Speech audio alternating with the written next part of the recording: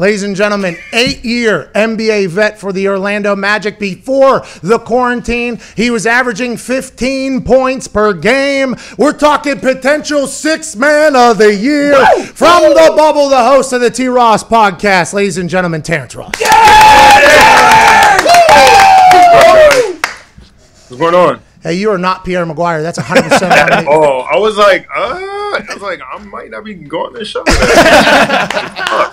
How is the how is the bubble down there? By the way, thanks for joining us. I know you're incredibly busy down there. The podcast from the bubble, brilliant idea. I hope it crushes and does very well. How, how is life down there? And now the games are getting started. How do you imagine anything will change? Man, it's like Hedgehog Day, bro. It's been like the same day over and over and over again. Groundhog, Groundhog Day, Groundhog. Day. Groundhog, Hedgehog, Groundhog. Same yeah. See, thank you. Yeah, you know what I'm talking about. Yeah, Groundhog Day. Anyway, no, it's been the same day over and over, man. Um, it's not really much to do besides, uh, you know, sleep, go work out, practice. But um, I mean, we're kind of just grinding it out, man. It's not really much. It's like a, it's like a big fat AAU tournament. That's what just NBA players. that's how everybody has kind of described it. And they're the first couple days, and I we talked about this on this show. There was like some activities, you know, there was golfing, there was fishing, there was shotgunning of beers, and I was like, I wonder how long this is going to last. And it sounds like Yeah. that has died off. so quick. Like, like right after all that happened, like people tried doing it the second day. Now it's just kind of like lost its uh its Lost appeal. But like the fish have all gone. uh, I mean, people are going by the pool. Like, but it's crazy because the pool is like four foot. Like, so everybody's like, it just reaches like their thighs. Like, I seen uh, the, that what's that big giant dude from um the Dallas, Boban, Boban. Bogdan, or uh, Yeah. whatever his name is, big tall giant dude he he's always in the pool, but he's like literally up to like his kneecap. So it's just like I don't even know what you're doing in there. But I don't know, man. It's, get, it's getting it's getting pretty boring. Thank God that we're playing, but I don't know. It's it it just it's a weird time. Okay, so you guys are currently the eight seed, which is a very, very highly contentious spot, obviously. In the East, Yeah, yeah. in the East, there's only nine teams there, so only one team can kind of get there. But who knows what will happen with all eight games? How's the squad feel? How have the practices been? Is there like allotted times for just your team to be in there, and then other teams cycle in? How has been that whole process? Yeah, man. Um, this A spot, it's a it's a race right now because it's it's different too. Like even if you're like the ninth or eighth, you have to. It's like you have to play in almost. So it's like it's it's really janky. So we're trying to get to like uh, the seventh or sixth spot so we can kind of avoid all that. So. I mean, we're feeling good right now. You know, the team's getting back in rhythm. I mean, we do have practice. We have practices like pretty much every day, but they're they're different times. So, you know, sometimes we might have practices at 8 a.m. for two days, and then for the next three days we might have practice at 7 p.m. So like it's it's just a weird timing, and it kind of throws your your, your schedule off. But uh, it's it's it takes a little getting used to, but we're pretty much used to it now. Okay, so what they kept saying that it's a shooter's court, the uh, the court that you guys are going to be playing on, and why is it a shooter's court? Because you could potentially light it up. Is this going to really? Is this going to Yeah. really help teams that have snipers? No, for sure, man. Like so, usually, let's say for instance, when you play at like Staples Center, that the the depth perception from the basket to like the stands and to where you're at, like it kind of throws you off. So it kind of like makes the the hoop look a little further back, and it kind of you know mess with your shot. But like when you're in a like a small environment, you feel like you can pull up from anywhere. So like. I'm seeing guys already like going six for eight from three. Duncan Robinson's getting hot. Uh, seeing Seth Curry out there balling. So it, this is like a gym where you're gonna see guys probably shoot lights out because I'm feeling good in the gym. Like it feels, it feels like a like a high school gym. So you know, when you go to a high school gym, you feel like you can pull up from anywhere. So that, that's what it feels like. It feels like the court's a little bit smaller.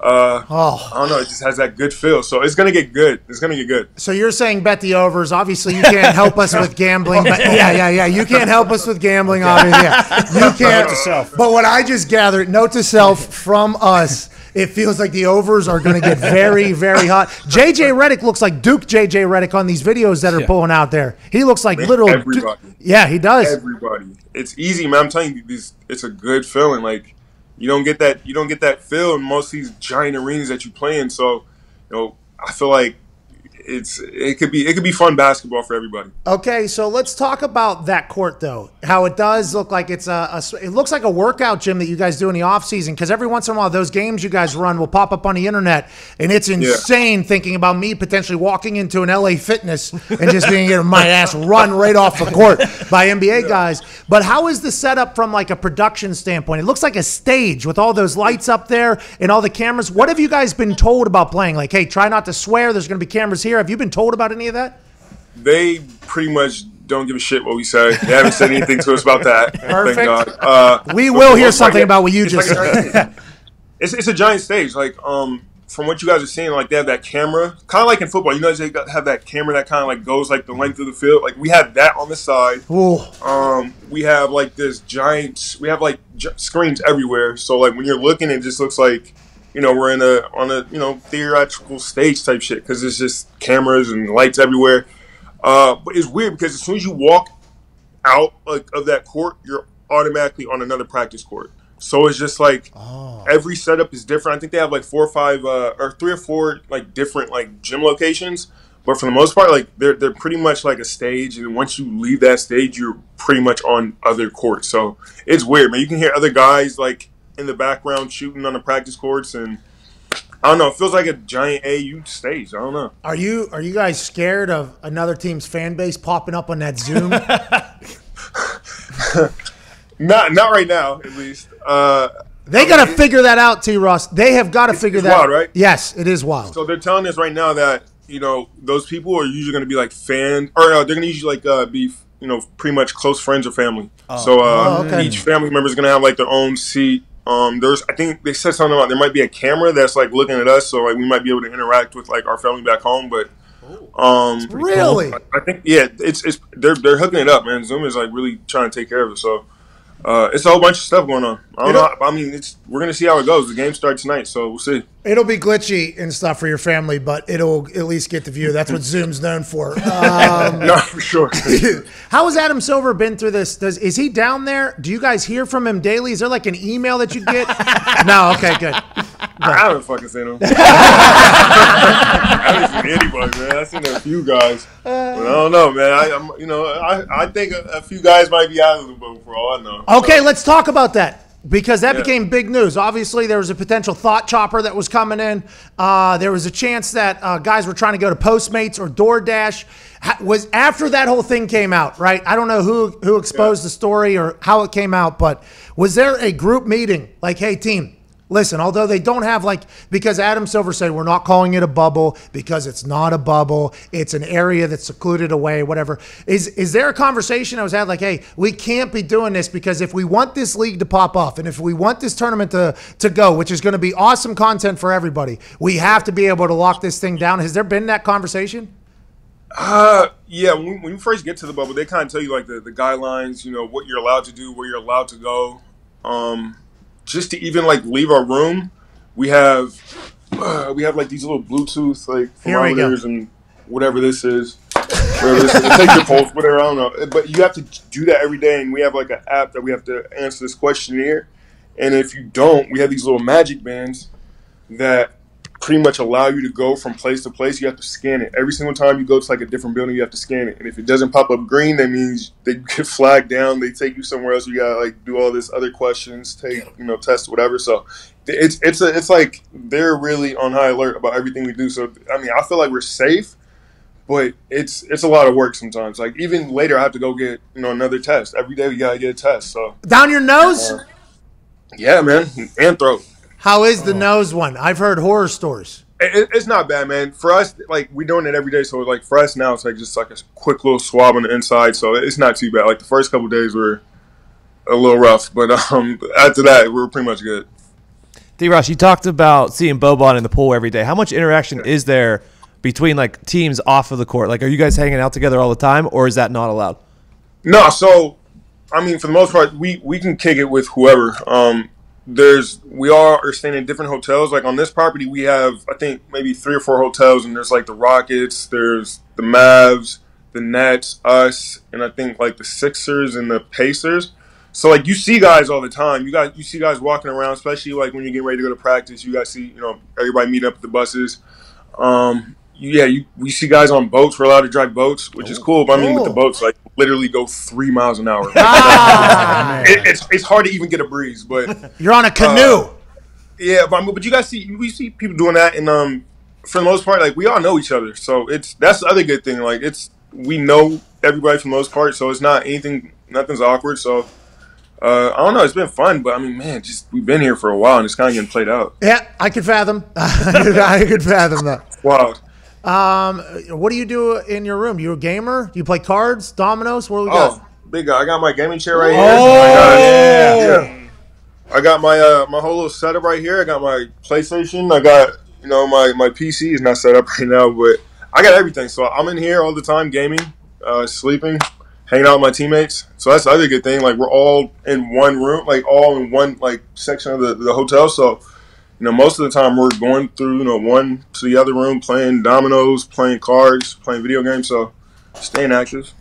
T Ross, how's the food been? Is that getting really old yet, or have they mixed it up enough where like it's actually been decent?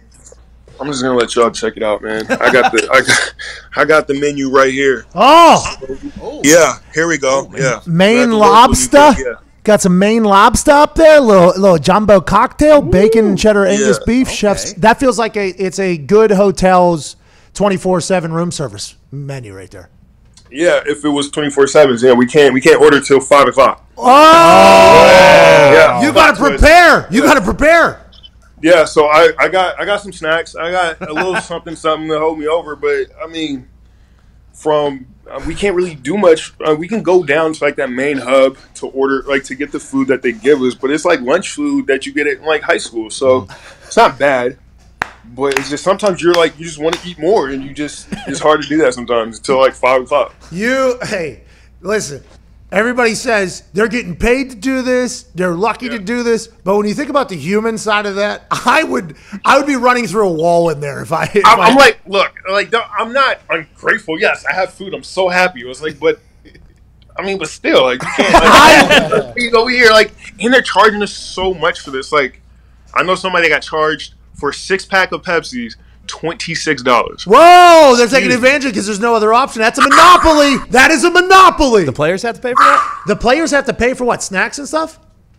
Room service. You have to pay for oh. room service. You have to pay for the like, you know, anything that you order, the food Wow. that you get delivered in. Like, yeah, you got to pay for it. I'm thinking it's like, oh yeah, it's on the house. No, no, no, no. If you want this little coffee that we have in here, is forty bucks per cup. so, yeah, you got. I'm Amazoning things to the house, man. To the room. So are you allowed to receive shipments? How does that does that have to go through Oh, somebody sure. to get to you? So we're allowed to receive stuff, but we have to send to a, a certain, you know, address or whatever, and then deliver it to our rooms for whatever reason. But yeah, we, we can get packages. hey, It's we're gonna, we're gonna send you snacks for sure.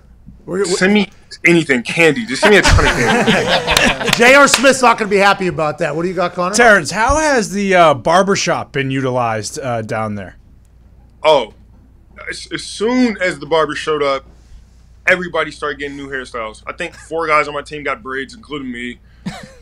Every every person on the other team is getting braids. Like everybody's getting a haircut. Like it, it's been dope. They actually set up like a little makeshift barbershop. Oh yeah. in two days. It was wild. Like it, they put it up. It has TVs. It has you know air conditioning, barbershop, everything you need. So they hook they, they hit other part. Like it's dope for us. So I'm happy for that. What are you keeping the braids tight up there right now? For sure, man. For sure. I just woke up and I'm just like, I can't. I just got done like a couple days ago. I can't have messed up day two. Yeah. I gotta keep them fresh. Especially when there's literally no excuse because there's nobody around you most of the time. N- Yeah, I, I can't. I can't have those dusty looking braids. I can't. I can't. I can't wait to download the T Ross podcast. I am so Check it out. e- excited that you joined us, man. You're fucking awesome. Thank you, man. This show's amazing. I listen to it all the time on the way to practice. My guy! You and the guys. Yeah. Hey, we're Fuck go- with the show. We're gonna send you some shit. We'll get your address somehow. We'll figure it out. We'll send down an entire sure. care package for uh for the for the lifestyle that I could not do. I'm happy you are though.